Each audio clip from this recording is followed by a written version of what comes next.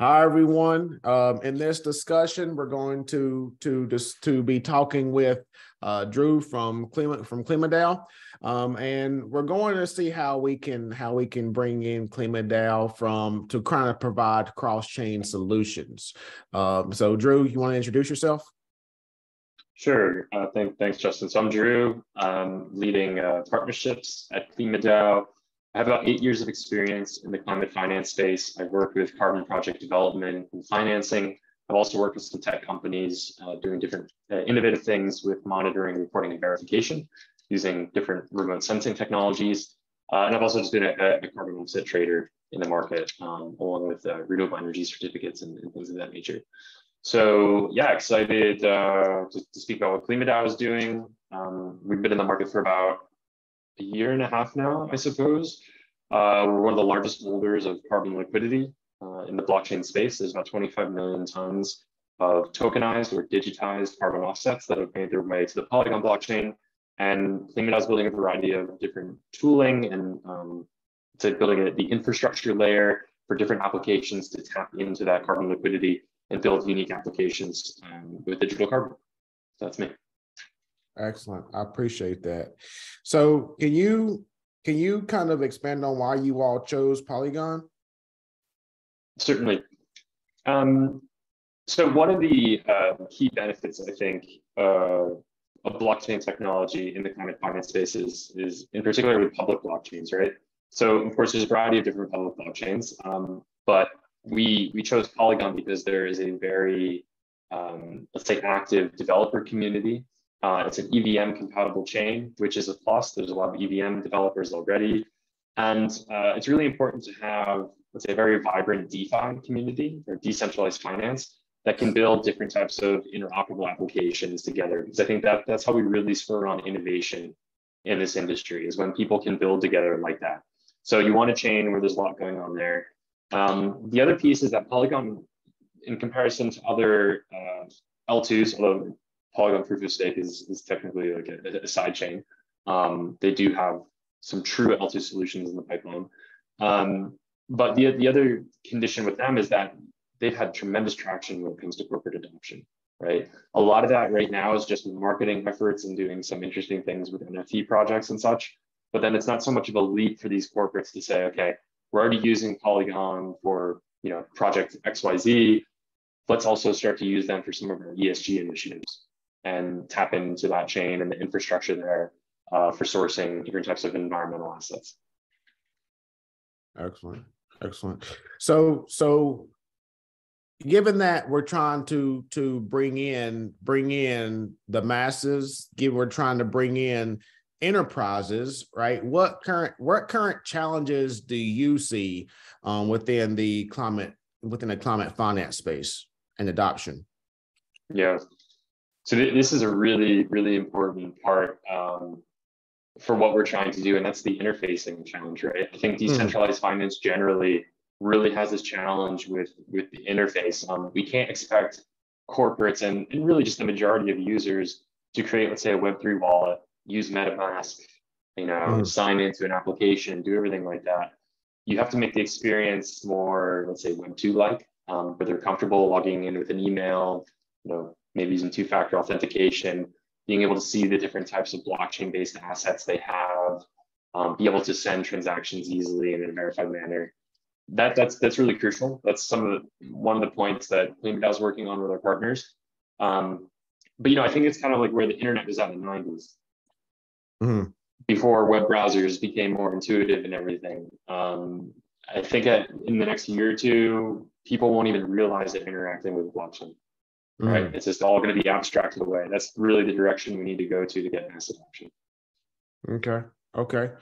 So so all right so once we once we get to once we get to adoption because i think that you've had the discussion of you know based on the use case everything doesn't have to be on the blockchain right but in terms of in terms of you know carbon offsets, you know, carbon, you know, carbon emissions tracking. What do you think are, are the benefits of utilizing of utilizing blockchain? Yeah, so we, um, I think like Clean KlimaDAO's approach to this isn't uh, unique necessarily. Uh, institutions like the World Bank have cited the benefit of blockchain and mm-hmm. have seen it as a, uh, let's say, an appropriate technology to apply to the climate finance space. Well, why is that? Um, blockchain really provides unprecedented transparency and traceability of different types of assets. And it can be done in a, in, in a way where you have essentially neutral infrastructure that's doing this, that a variety of different stakeholders can both monitor, but then also interact with. So I think this goes back then to this idea of having a, a vibrant DeFi developer community. If you're all building on, let's say, neutral public infrastructure in a, in a trustless manner, which blockchain provides, people can build different types of applications together and not have to rely on some centralized party to ensure that there's um, you know congruency with the data and things of that nature. Can all just run on the blockchain. Uh, so i think that's a really strong suit. The other piece is that right now the, the voluntary carbon market is is very fragmented. There's trading activity that takes place otc in a very opaque fashion uh, and when you can start to move that market activity onto a blockchain there are interesting data insights that i think can be empowering to the market which simply aren't really possible today today if you're looking at let's say market analysis of the, of the voluntary carbon market, you're relying on retrospective, often survey-based studies. So you're going to be looking at data that's months old, right? In contrast, just give a very concrete example on this. So KlimaDAO has the, the carbon KlimaDAO.finance uh, market dashboard.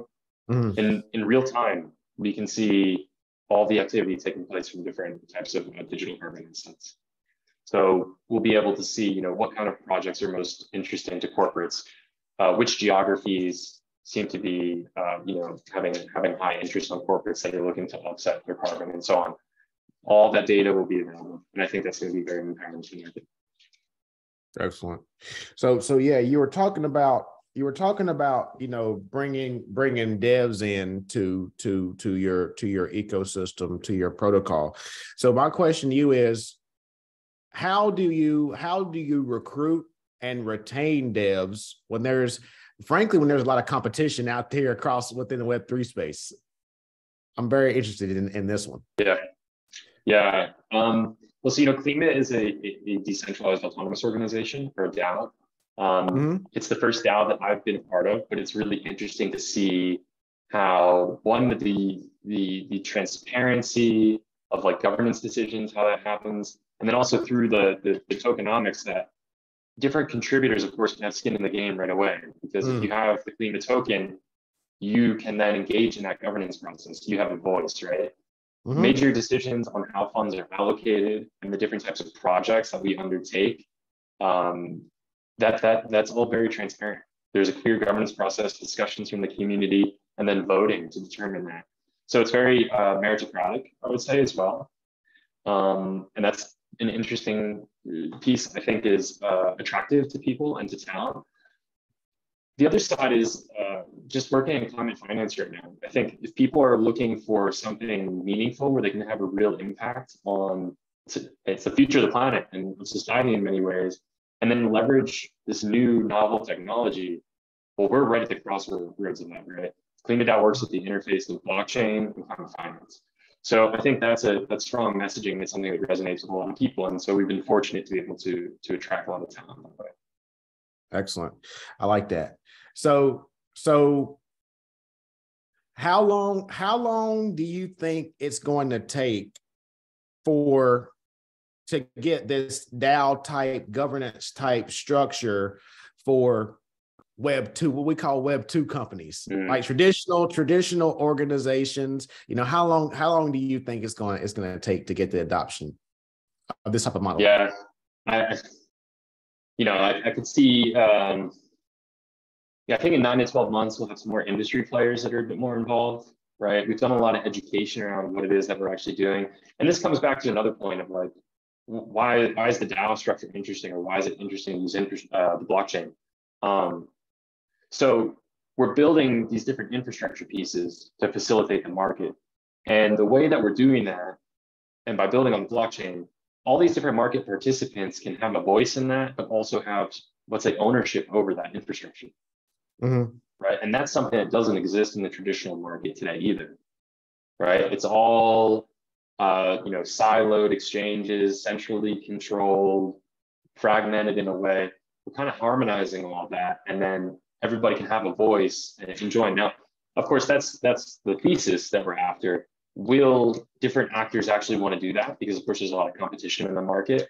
Uh, we have to see, but the tools that we're building, we try to be neutral and just build a, an infrastructure layer that other people can build on top of. Uh, so we'll have to see how much adoption there is there. The other piece is on the regulation side, let's say. Um, mm, mm, mm-hmm. Wyoming, for example, like does recognize DAOs as a, as a legal uh, entity type. Uh, there's a few other jurisdictions in the world that are starting to do this too. I think that's important for legitimacy and for different players to feel comfortable about it. Yeah. Okay. So you said that you've been you've been educating people, you've been educating people on what you all do, right? Now, are you saying that you've been educating traditional companies on on what you do? Primarily, yeah. I mean, you know, there's so much stuff happening in DeFi, right? And right. what we're doing though has this direct tie into I don't know if I want to call it like the off-chain world or the real world, whatever mm-hmm. it may mm-hmm. be. You know, we we have to onboard these players in the market that have been here for the last 20 years. Uh, you know, mm-hmm. to show them how this technology can be used and how it can be empowering to what they're doing.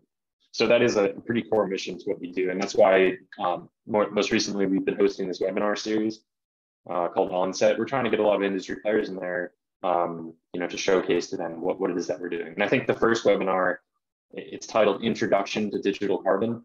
I think that's a great resource for people in the market uh, to take a look at what we're doing and, and what blockchain can enable. Okay. Now, what's been the, what's been the feedback? What's been the feedback from the from the industry? Like, what have they been saying? Because I'm curious. Yeah. So, I mean, you know, some uh, some organizations are pretty, let's say, they're pretty interested, and they see the potential here. They see how it can uh, disintermediate the market to a certain extent and help deliver more finance to the carbon project developers themselves and through that local communities that are on the front lines of you know climate impact. Um, so that's exciting. I think they, they, you know they see it as a direct route to financing and, and to the demand side participants in the market. There's others that i think see what we're doing as well competition for them. You know i mm. mentioned that the idea of disintermediation whenever you do that in a market, people are going to push back because there's middlemen that are taking part of the profit, right? Mm-hmm. Um, so you know those types of players are, are, certainly far less receptive to what we're doing. Um, then you have other there's other groups that they associate anything with blockchain with like you know scams and hacks and it's this wild west, right? Yes, that's something yeah. we have to overcome. yeah, excellent. And I know I know that so are you do you do anything with uh with toucan protocol because i know that you were actually you were actually were, were, were working with that their kind of tooling right? If i'm not mistaken?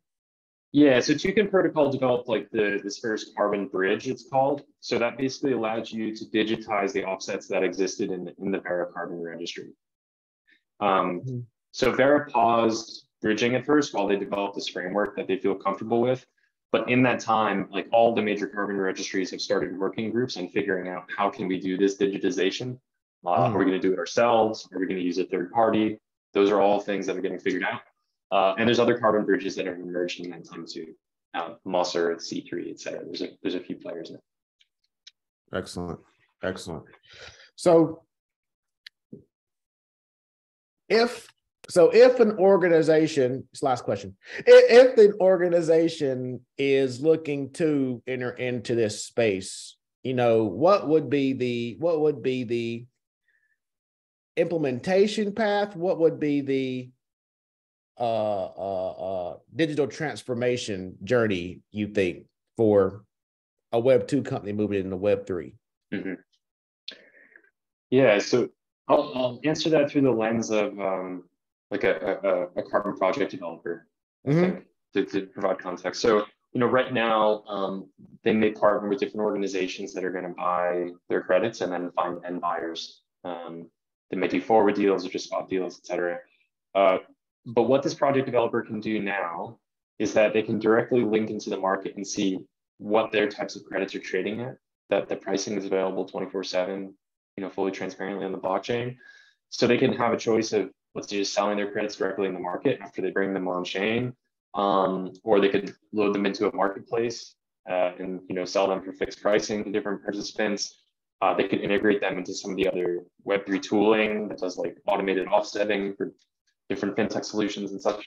Um, the big thing for them as part of that journey is they need to connect the carbon registry account with the blockchain. And that's getting more streamlined nowadays. Um, again, a lot of this is going to get abstracted away. You're not going to have to worry about MetaMask.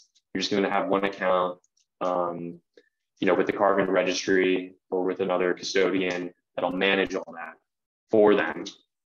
Uh, and then it's just going to be like they had any other account online. You're just going to click a few buttons, move some credits around. They're not going to worry about any blockchain stuff. It'll all be, you know, in the background. Yeah, yeah. And I know I know I said that was the last question, but I lied. So so hopefully, hopefully, hopefully this will be the last one. But so what like what's your thoughts in terms of in terms of interoperability within within this climate finance space? Yeah, so this is uh, this is an important one. Um, mm. I spoke to a, a gentleman from uh, BXC. So they are a group under the uh, what is it? The Global Blockchain Business Business Council (GBBC). Mm.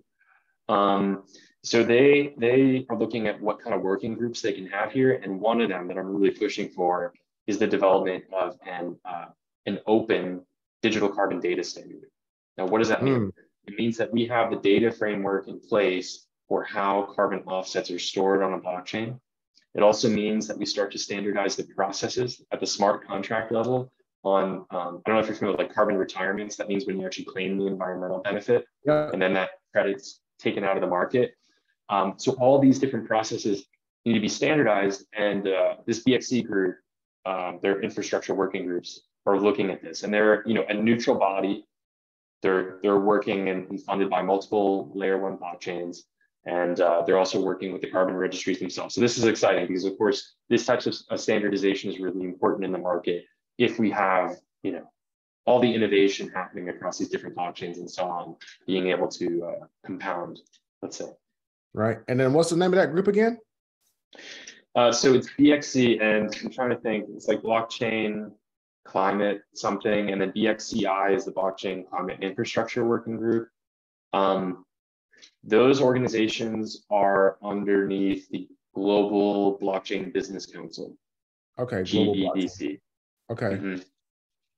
Blockchain Business Council. Okay. Okay. All right, perfect. Yeah. So so yeah, that's pretty much everything everything that that, that I had. So do you have kind of any any any parting words? Uh, where where can people find you? And you know what do you what what what what what final takeaways or calls to action would you have? Sure. Yeah, uh, I would just say, um, look, this is a really exciting space. I think blockchain technology is starting to mature um, the interfaces are getting better. Uh, there's just so much innovation happening. And I think climate finance itself is also a, a growing field. It, it's mm-hmm. tremendously growing, good 30x by 2030. That's just uh, carbon offsets in the voluntary carbon market. Uh, and so, you know, if you are, let's say, a developer or just someone working in climate finance and you're interested in what's going on here, check out Finance we have a great resources section. We've written extensively on all the topics that I've talked about in this discussion. Uh, and you can also follow me on Twitter. It's at Drew underscore Klima. Uh, I post a lot about you know, the different developments in this space as well as uh, the carbon offsetting market more generally. And yeah, be happy to engage in the discussion. And also, if you're a company, happy to help you source and utilize digital carbon assets in the future. All right, excellent. Drew, thank you for your time. And until next time, thanks a thanks, lot. Justin. Thanks.